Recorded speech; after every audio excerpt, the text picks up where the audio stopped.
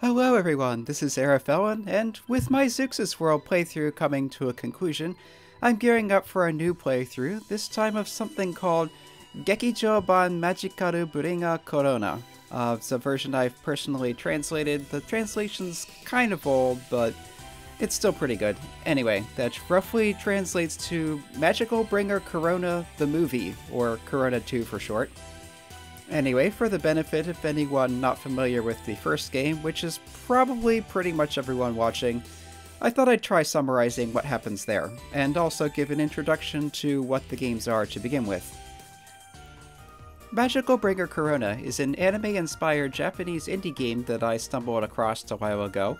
It and its sequel were produced by Thunderbolto, uh, Thunderbolt, they normally romanize it with an S as Thunderbolt, in any case.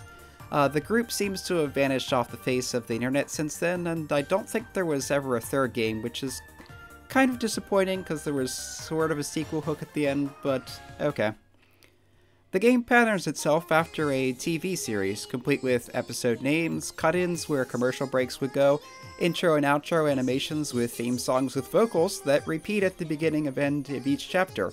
However, unlike any typical anime, the storyline eventually splits into three diverging routes. Both Korona games are written in a scripting language for visual novels called Nscripter, but they managed to include a combat system vaguely similar to a rhythm game, even though the engine was never meant to do anything even remotely like that. They even have a sliding difficulty scale based on your performance that doubles as a score when you clear the game and your final score additionally acts to unlock maximum difficulty settings and some of the fighters in free battle mode, which is where you can refight opponents with your choice of player character and difficulty setting, so a high score is good for more than just bragging rights. Also, the soundtrack is unexpectedly amazing. I'd like to give a quick shout out here to Yu Furuka, the composer, known as Furuyama at the time, they're the creator of a sizable library of professional quality RPG oriented free music. You can find their website at wingless-seraph.net. Also to Heart Sound, that's sound.jp slash heart underscore sound, who did the vocals for the opening and ending themes, and also the opening theme of the second game.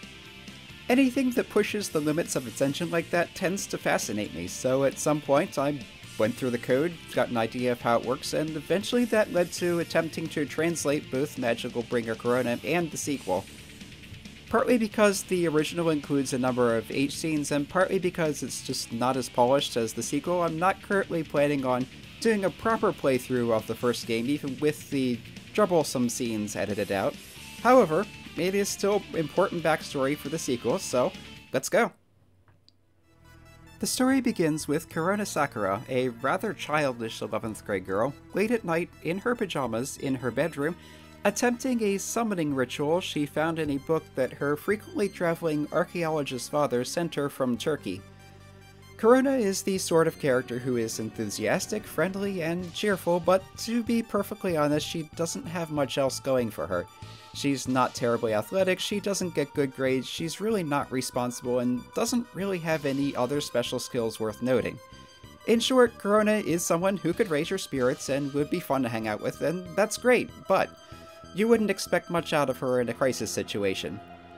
Also, she's flat as a washboard, which is just about the only trait of hers that seems to bother her at all. I wouldn't have mentioned that, but it's kind of a running gag. Korona has always dreamed of becoming a magical girl, and after some miscues, he actually manages to summon the Black Demon Sword, a massive 10 foot weapon that speaks in a deep, menacing voice. He offers her power, she names him Osiris to form a pact, he psychically bonds with her, and boom, magic. Which doesn't come without its complications. Osiris talks with her in her head and shares her senses. Aside from the obvious general awkwardness that can cause, it also turns out that her favorite sweets also make him nauseous. She has trouble adjusting to her newfound powers at first, too, resulting in some cartoonish antics at school the next day, like resuscitating the frog she's supposed to be dissecting. This sudden change in Korona is especially concerning to her best friend, Yuka Amanogawa, Yuka is in many ways Korona's complete opposite. She's calm and confident, physically fit, does well in school, and is well rounded in uh, more ways than one. Which Korona tries with limited success not to be too jealous of. However, the two of them are quite close and have been friends since childhood. Korona's not sure what to tell her though, and just makes up an excuse. Near the train station on her way home, Korona spots a group of three strange looking people. Turns out they're demons, and the cute little one, Noelle de Belzebuth, is actually their leader, a pureblood about five times Korona's age despite her appearance, and the most powerful of the three.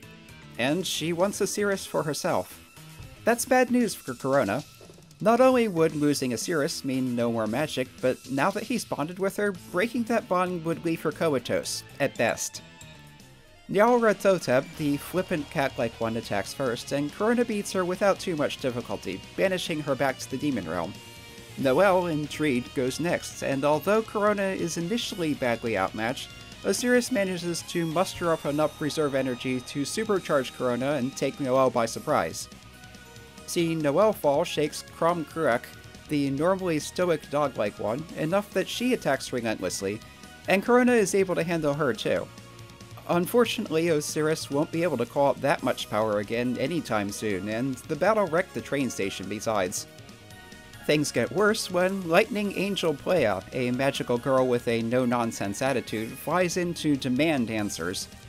Excited as Korona is to find out that there's another magical girl around, this is more of a running away very quickly situation. So, of course, Korona runs into her at school. Subaru Yoshiyumi is the 10th grade class president, highly organized and polite, independent to a fault, seemingly perfect at everything, and Pleia's true identity.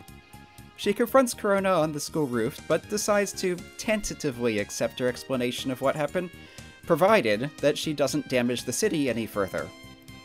So, of course, Nyao attacks Korona on the way home, and although Korona wins again, the neighborhood takes something of a beating. Playa arrives and demands to battle Korona, in the sky to avoid causing further property damage. She's quick, but not particularly durable, and Korona fends her off. However, all these battles are taking a lot out of her. Running short of magic is getting to be a problem, and it turns out that a bit of hanky-panky is the quickest and easiest way to address it. Ideally with someone else who has as much magical potential as possible, but solo activities will do in a pinch. And oddly enough, how this plays out determines the course of the remainder of the story. If Korona finds out about her energy problem but does not follow through with dealing with it, she feels a bit off at school the next day and hits critical state during gym class. Yuka takes her to the infirmary where Korona blurts out an incoherent version of the situation, and instead of reacting with confusion, Yuka almost seems to have expected something like this. She, um, lends a helping hand, and Korona recovers but dozes off without explaining anything. After school, Nyal tries to run Korona down with a motorcycle, and Korona lures her to a remote location before engaging. Nyal has a new trick that involves hiding Korona's blind spot this time, but Osiris can negate that by temporarily turning into an energy cannon and striking from a distance. Okay, sure. But after the battle, Korona belatedly realizes that this secluded area is right near the shrine where Yuka lives, and Yuka is there, watching her. Panicking, Korona runs away. The next day, Korona works up her nerve to go visit Yuka and confesses everything that's happened, but Yuka has a confession of her own to make.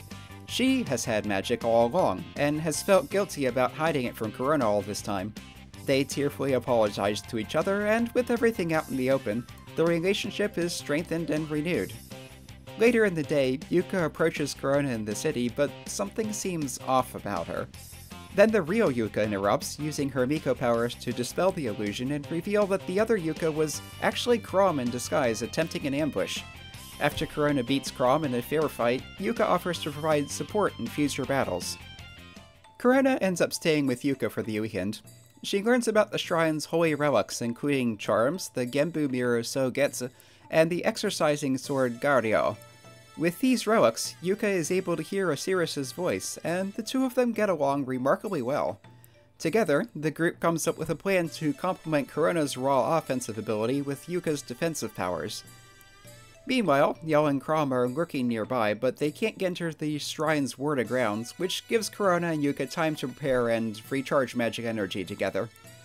Once they're ready, they come out for a confrontation. Yell and Chrom attack as a team, but with Yuka's help, Korona gets a significant edge in durability and can even reflect some of their damage back at them. Their victory celebration is cut short when Noelle appears, but she isn't interested in fighting while they're tired out.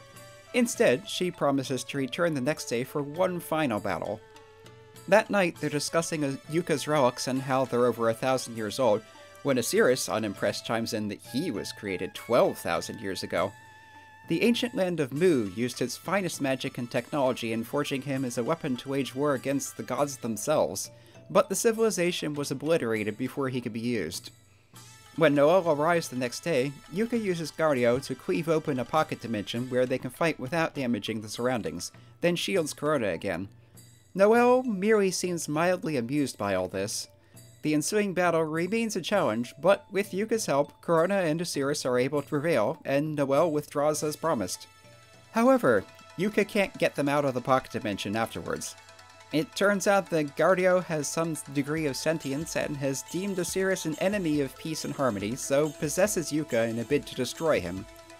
Korona is forced to fight her, but insists that Osiris attack only the sword. After a long, grueling battle against an exceptionally tanky opponent with some surprisingly nasty tricks on offense besides, Korona emerges triumphant. Gardio breaks into shards, leaving Yuka safe and free from possession, and the pocket dimension collapses harmlessly. Osiris even repairs Gardio in the end, though he leaves its bothersome personality out when he does so. The story concludes with a scene two weeks later where Korona drags Subaru along to watch Yuka perform ritual dance at a festival.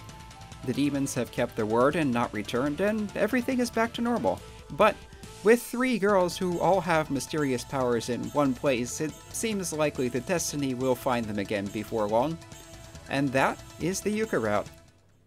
However, if Osiris helped Korona recover her magic reserves earlier, she gets to school sated but late, with her homework unfinished, and has a run-in with Subaru while standing out in the hall.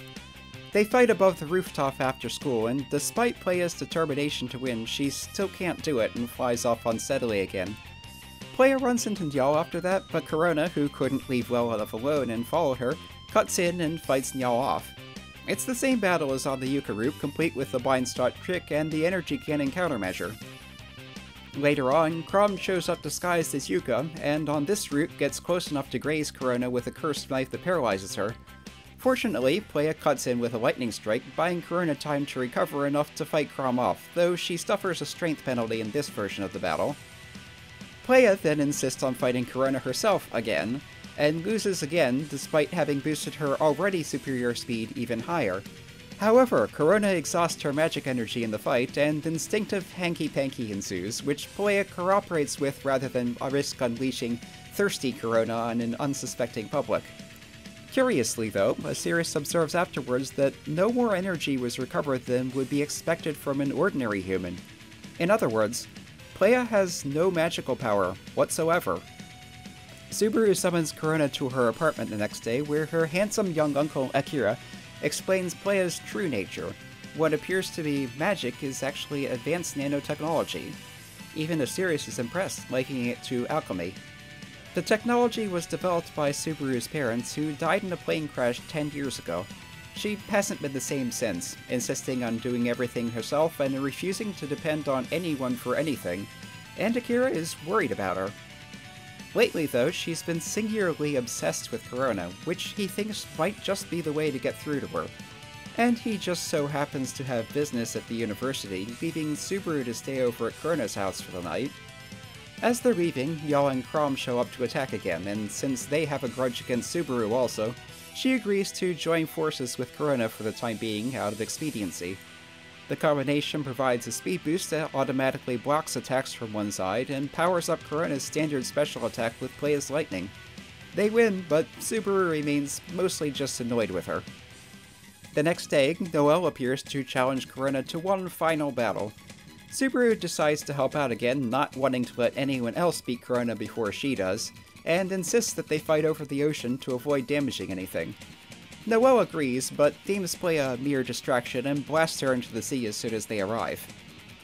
Things aren't looking too good for Korona either, until Pleia bursts out from underwater, hitting Noelle with an explosive lightning strike. Decomposing water into oxygen to breathe and hydrogen to detonate is a simple enough matter for the Pleiades system, and now Noelle is sufficiently intrigued that she allows Pleia to participate. Together, the two of them prevail against Noelle. But Subaru still sees Korona as an enemy, an obstacle, something to be overcome, and demands to fight her once again. But the way Korona sees it, she's just afraid. Afraid of getting close enough to anyone that losing them would hurt her, afraid of needing anyone for anything, and also too stubborn for her own good. So Korona agrees to fight her, hoping to knock some sense into Subaru. In a dramatic battle under the full moon, Pleia brings even more tricks to bear, including a unique new special attack designed to overwhelm your ability to keep track of what it's doing. But Korona ultimately prevails, intentionally whiffs on what would have been a finishing blow, then sets her for rails, and starts to head home as though nothing out of the ordinary had happened. Then she remembers how late it is and how upset her mom is going to be, and she rushes back to drag Subaru home with her to help with apologizing instead. The story concludes some unspecified time later with Korona buying Choco Banana crepes for herself and Subaru and Yuka. Subaru has mellowed somewhat, although she still doesn't quite trust Korona and still hasn't given up on finding a way to beat her, eventually.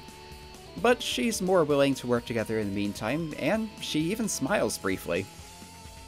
There's also an alternate outcome in which Korona destroys the Pleiades system, forcing Subaru to live out her life without special powers, but it leads into a downer ending decades later with an unaging Korona mourning her death, and the sequel punts that entirely out of canon anyway, so never mind that.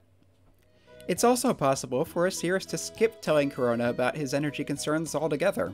In this case, Korona has an uneventful day until after school when, like on the Yuka route, Nyal tries to run her down with a motorcycle. The ensuing battle goes much as on the other two routes, except that Osiris holds back enough at the end to leave Nyal still in the human world. Not having done anything to recover her magic energy on this route, Korona fiercely hungers after that fight, although she doesn't really understand what for. But her instincts take over, and an intense scene with Nyal falls, ending in a tender kiss before she vanishes back into the demon realm. And that leaves Korona conflicted. She's realized that the demons are people too, not just heartless monsters. And she may have kind of fallen for Nyal. Either way, she's lost her will to fight. Until Chrom shows up disguised as Yuka as usual, and things really go off the rails. She tricks Korona into drinking a deadly poison, and although Korona tries to defend herself once she realizes what happened, she's severely weakened and struggles just to hear Osiris' voice. The ensuing battle is only barely winnable, and even winning barely results in finding out that the Chrom she just fought was only an illusion. Things look grim until Korona suddenly gets back up, now with blonde hair and an attitude like an internet troll crossed with a yandere in full-on gleeful violence mode. This Korona is somehow unaffected by the poison and smacks Chrom around more for fun than anything else, though she holds back enough for Chrom to remain in the human world to feed on later. So, what happened?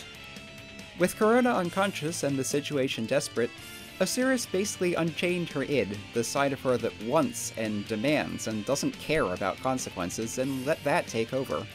But this dark Korona has no intention of ever going back, so she stole away the bulk of Osiris' power, then shut him and the usual Korona away in her place. The situation should be hopeless, but Osiris entrusts Korona with the last of his power, risking his own continued existence to do so, which allows her to break out, rescue Crom, and confront Dark Korona. Our Korona is at a distinct disadvantage when the battle rivals any of the endgame bosses in difficulty, but losing is not an option. Dark Korona is ultimately recontained. However, the strain took a toll on Osiris, and he needs to go into hibernation to recover. He entrusts the entirety of his power to Korona in the meantime. On this path, when Yell and Crom challenge Korona again, they approach her openly as a sign of respect. Although she doesn't have Yuka or Pleia backing her up, the extra power boost from Osiris easily makes up for that. As they fade away, they express their hope to someday meet again, as comrades. But then, Korona's mother Mizuki arrives, sees her in her magical girl form, and promptly dies in front of a lamppost that was about to fall on her. Korona would have been fine, but Mizuki? Not so much. Pleia arrives to complain about the property damage, but upon seeing the situation, insists that Korona rush to a hospital instead. Mizuki knows it's too late for that though, and asks to go home, where she slips away after an emotional scene. That's when Noelle appears, claiming to have the power to save her even now. Korona fascinates her, it seems. No one else has ever been such a worthy opponent. Noelle has long become used to being the strongest, the highest, the greatest, and she's grown bored and, and lonely. So she offers to restore Mizuki to life and health if Korona can best her in an all-out battle with nothing held back. But they need to be quick about it. Once the sun rises here, it will be too late for even Noelle to save Mizuki. Korona hesitates, but she can't abandon her mother as long as there's any hope. Besides, Osiris believes in her, and even her dark side has her back in this. And so, they leave for an epic no-holds-barred battle in space where it won't bother anyone. Noelle isn't exactly kidding around on the other story paths, but it's only here that she unleashes her true power and her full moveset. On top of having high stats to begin with, Exceed Noelle adds an extra chaotic speed effect to both normal attack rounds and normal defense rounds, making her harder both to hit and to evade, She's also able to counter and completely nullify Korona's blaster attack, causing entire special attack rounds to go to waste. Only the fact that Korona fights her at enhanced strength keeps Exceed Noelle from completely overshadowing the other two final bosses. Even with all the power at her disposal, however, Korona still struggles and the sun begins to rise. Until finally, Desperation gives rise to a new, especially dramatic, multi-part special attack, and that's just enough to give Korona a chance to scrape out a win. As promised, Noelle works her magic on Mizuki. Naturally, both Noelle and Korona are exhausted by this point and retire to recover magic together, which feels kind of skeevy, even if Noelle is the aggressor and canonically nearly a century old. When Korona wakes up the next day, Osiris has recovered, Mizuki has recovered, and Noelle is downstairs watching TV and having lunch. Well, Korona intrigues her, and she's realized she has much to learn, so she took the liberty of tweaking Mizuki's memory a bit. Not just to forget about the injury and all the magical girl stuff, but also to believe that Noelle was an exchange student from abroad. She'll be living with them until further notice. And that foreshadows further adventures even more than the other routes do.